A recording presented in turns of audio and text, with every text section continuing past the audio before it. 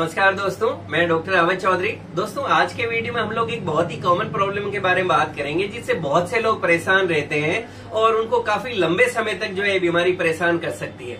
दोस्तों, आज के वीडियो में हम लोग बात करने वाले एल फाइव एस वन जो आपका होता है स्पाइन के अंदर। अगर एल फाइव एस वन के अंदर जो है प्रोलैप्स हो जाए या आपके डिस्क बल्ज हो जाए या हर्निएशन हो जाए तो उसके कारण जो है अक्सर आपको कमर का जो निचला हिस्सा, आपका जो लोअर बैक हम कहते हैं, वहाँ पे अगर दर्द रहता है पेन डिस्कम्फर्ट वगैरह रहता है, और कई बार ये आपके पेरू में जो है नीचे की तरफ़ भी जाता है, और ये आपके नीचे मतलब पेरू में पूरा पीछे से जो है लोअर बैक से लेके हिप्स है, आपके थाइज है, और पेर में बिल्कुल नीचे टो यानी अंगूठे तक भी जा सकता है। और ये पेन कई बार एक पैर में होता है और कई बार आपको दोनों पैरों में भी हो सकता है। और इसका रूट को जो भी हम बात कर रहे थे, वो होता है एल फाइव एस वन जो डिस्क है, वहाँ की प्रॉब्लम तो इस वीडियो के अंदर हम उसी के बारे में बात करने वाले दोस्तों, इस टॉपिक को समझने के लिए बहुत ही शॉर्ट के अंदर मैं पहले आपको एक थोड़ा सा बेसिक आइडिया देना चाहूँगा स्पाइन और आपका इसके अंदर बेसिकली बीमारी होता क्या।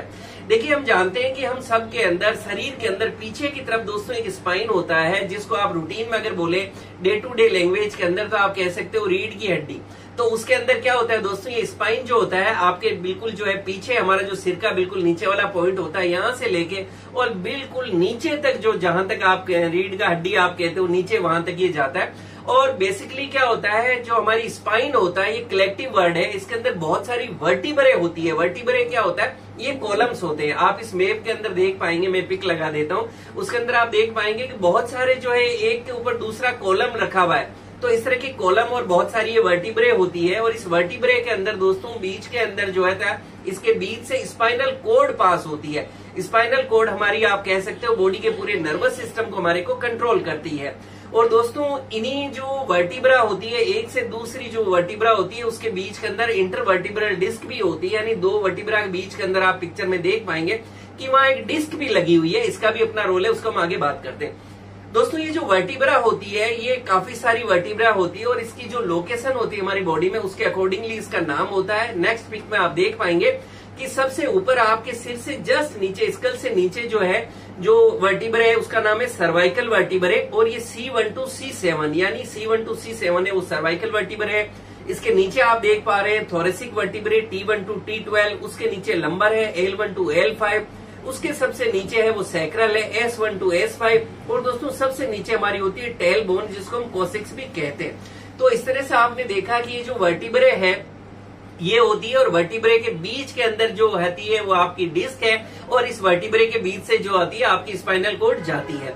दोस्तों, होता क्या है कि वर्टिब्रे के बीच में बेसिकली एक होल होता है। मतलब वर्टिब्रा आप कह सकते हो चारों तरफ़ से आपको दिख रहा है, लेकिन बीच से जो है उसमें खाली जगह है होल है, और जिसमें थ्रू आउट जो एक होल है, उस होल के अंदर से आपकी स्पाइनल कोड जो है नीचे तक पास हो रही है। दोस्तों अभी स्पाइनल कोड का क्या रोल होता है कि स्पाइनल कोड बेसिकली क्या करती है कि ये हमारे ब्रेन को, हमारे बॉडी के सारे ऑर्गन से कनेक्ट करती है और जो नर्वस सिस्टम जो नर्व्स का जो मैसेज होता है, वो स्पाइनल कोड के थ्रू पास होता है। यानी आप कह सकते हैं कि हमारी जो ब्रेन होता है, उसके हमारे बॉडी के हर ऑर्गन को जो मैसेज होता है, वो स्पाइनल कोड के थ्रू जाता है और वापस ऑर्गन से जो वापस ब्रेन को मैसेज आता है, वो भी स्पाइनल कोड के थ्रू जाता है। ये वाइसे वर्षा चलता है। दोस्तों, इसी तरह से आपकी जो वर्टिब्रे होता है, उसके बीच में हमने बात की डिस्क होती है। और ये डिस्क होती है इंटरवर्टिब्रल डिस्क होती है, इसको हैं।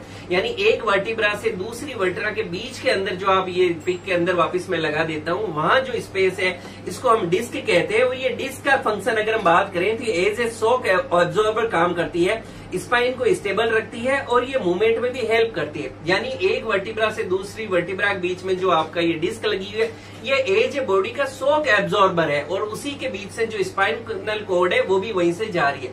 यानी बॉडी के अंदर किसी भी की ट्रोमा हो, कोई भी तरह का इंजरी है, आप दौड़ रहे हैं, भाग रहे हैं तो उन सब के अंदर ये जो डिस्क है, इसका इंपॉर्टेंट रोल है। और ये डिस्क है, ये प्रोटेक्शन स्पाइनल कोड को भी दे रही है और आपकी वर्टिब्राज को भी दे रही है। दोस्तों, अब किसी भी कारण से ये जो डिस्क का इतना इम्पोर्टेंट फ़ंक्शन हमने बात की, अगर इस डिस्क के अंदर आपके सबसे ऊपर की डिस्क हमने बात की कि सर्वाइकल स्पाइन जो वर्टिब्रे थी, वहाँ से लेके लास्ट में सेक्रल तक के रीजन में, अगर कहीं भी दो वर्टिब्रा के बीच की जो डिस्क है, अगर उस डिस्क में मान लीजिए डिसलोकेशन हो जाए, वो डिस्क अपनी जगह से थोड़ा हट जाए, वो थोड़ा सा बाहर आ जाए तो आप समझ सकते हैं कि अंदर जो, उसके अंदर जो स्पाइनल कोड थी, जो नर्वस सिस्टम को पूरा कंट्रोल करती है, उस नर्वस सिस्टम के ऊपर जो नर्व्स अंदर जा रही है उनपे भी एक प्रेशर क्रिएट होगा।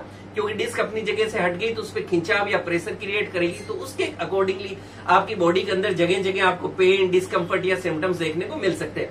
अगर कुछ इसी तरह का आपका, जैसा मैं वापस पिक लगाता हूँ, जो हमने बात की एल फाइव और एस वन जंक्शन जहाँ पर की आपका जो लंबर और सेक्रल का जॉइंट यानी लंबर का जो लास्ट वर्टिब्रे है, जिसको हम एल फाइव कहते हैं, और सेक्रल का जो फ़र्स्ट वर्टिब्रे है, जिसको हम एस वन कहते हैं, जिसको हम लंबो सेक्रल जॉइंट भी कहते हैं। अगर यहाँ पर दोस्तों डिस्क प्रोलैप्स हो जाए डिस्क अपनी जगह से हट जाए, कोई ट्रोमा इंजरी या कोई भी दूसरे कारण से तो उसको हम L five S one disc prolapse कहते हैं।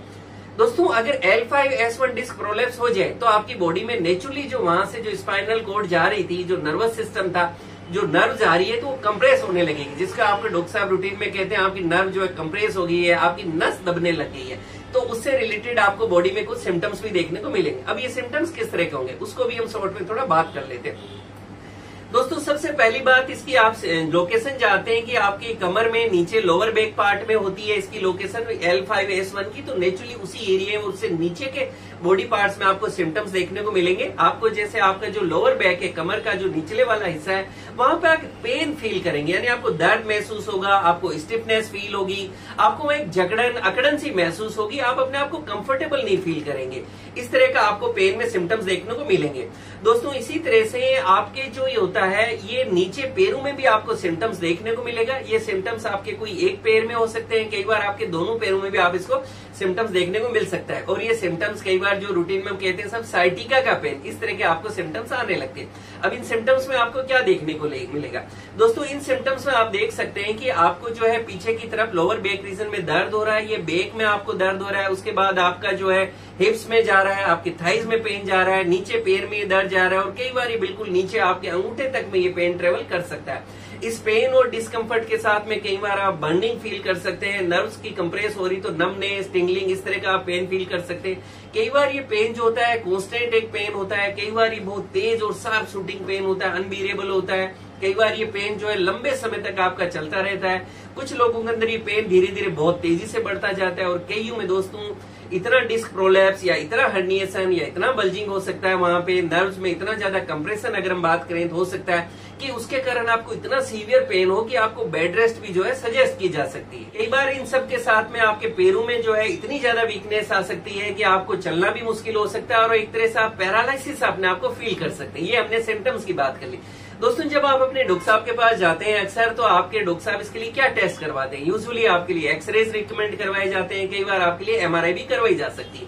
अब हम इसके ट्रीटमेंट की बात करें। देखिए, जिन लोगों की ये प्रॉब्लम है, वो समझ जाएँगे कि अब मैं जो है, ये ट्रीटमेंट जो है, किस तरह से उनके लिए इफ़ेक्टिव होने वाला है। दोस्तों, अच्छी बात यह कि होम्योपैथी के अंदर बहुत अच्छी अच्छी मेडिसिन आती है, जिनको अगर आप लेते हैं तो बहुत तेज़ी से और आपको बहुत ही अच्छा फ़ायदा देखने को मिलता है। इनफैक्ट मैंने मेरी क्लिनिक पे भी बहुत से ऐसे पेशेंट देखे हैं जो बिल्कुल बेड रिटर्न थे, यानी जो बिल्कुल बिस्तर पे थे, जो उठ बैठ भी नहीं सकते थे और जिनको सर्जरी तक रिकमेंड की हुई थी। लेकिन अगर उन्होंने टाइमली प्रॉपरली अपना होम्योपैथिक ट्रीटमेंट लिया है, अपने डॉक्टर्स के गाइडेंस में रहे तो वो लोग बिल्कुल ठीक हो गए।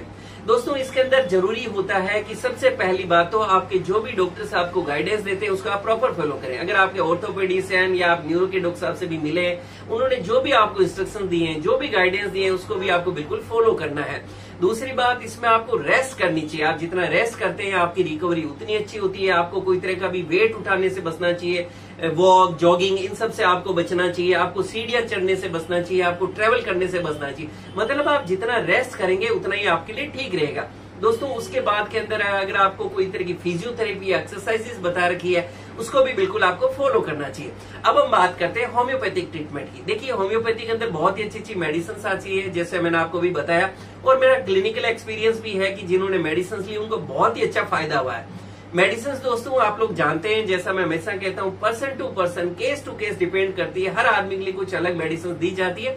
एज पर हिस्ट्री नीड उनके क्या सिम्टम्स आ रहे हैं अकॉर्डिंगली बट हाँ ऐसे केसेस के अंदर ज़्यादातर केसेस में कौन सी मेडिसिन है जो बहुत अच्छे रिज़ल्ट देती है? अगर मैं वो आपके साथ शेयर करूँ तो दोस्तों, मैंने देखा ऐसे के अंदर आर्निका एक बहुत अच्छी मेडिसिन है। और आर्निका को 200 पोटेंसी में यूज़ किया जा सकता है। आर्निका को 200 पोटेंसी में आप दिन में तीन बार, सुबह, दोपहर, शाम दिन में तीन बार दे सकते हैं।